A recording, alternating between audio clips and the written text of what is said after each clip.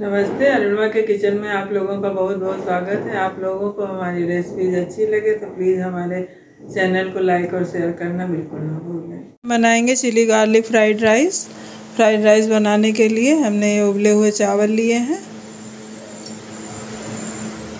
कढ़ाई में हमने टू टेबल स्पून देसी घी डाल दिया है। ये गर्म हो गया है।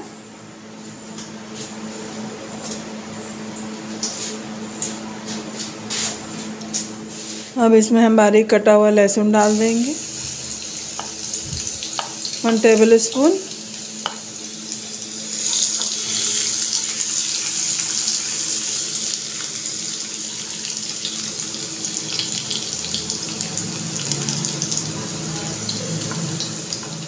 बारीक कटी हुई दो हरी मिर्च डाल देंगे।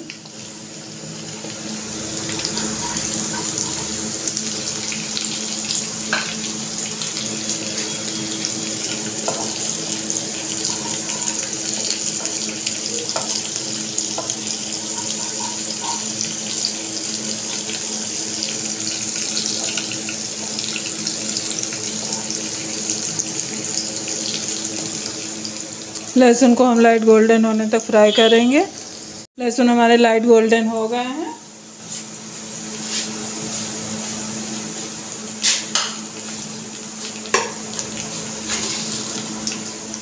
अब इसमें हम हाफ़ टी स्पून डाल देंगे जीरा।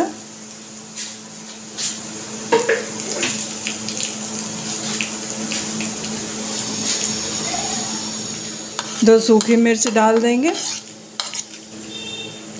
थोड़े से करी पत्ता डाल देंगे।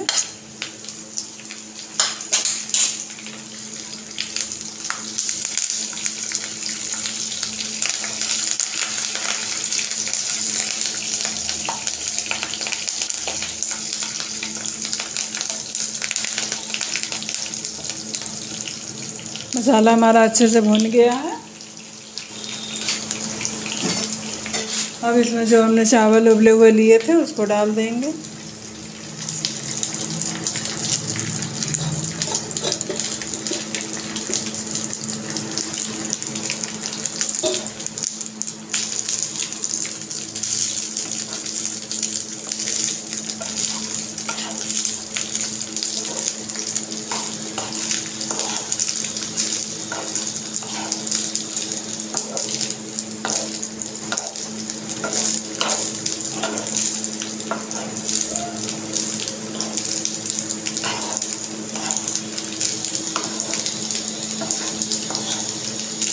चावल को हम अच्छे से मिक्स कर लेंगे।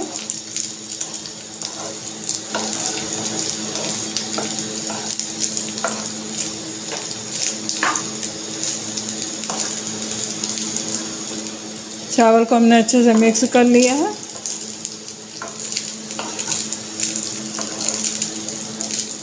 इसको दो मिनट हम भून लेंगे।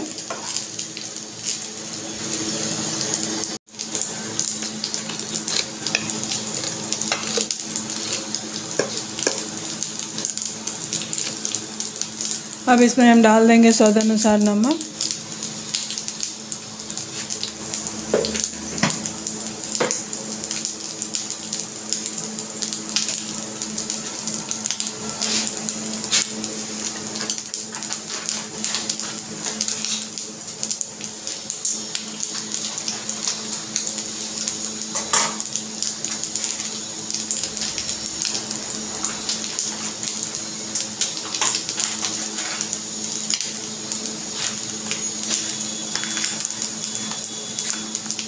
हाफ़ टी स्पून डाल देंगे चाट मसाला।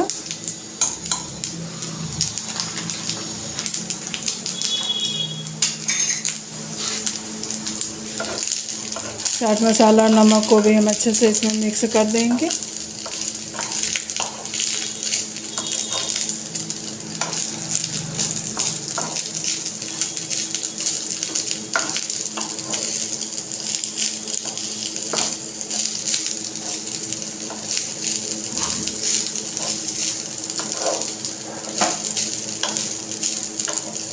ये हमारा चिली गार्लिक फ्राइड राइस बन के रेडी है। इसको हम बचे हुए चावलों से भी बना सकते हैं।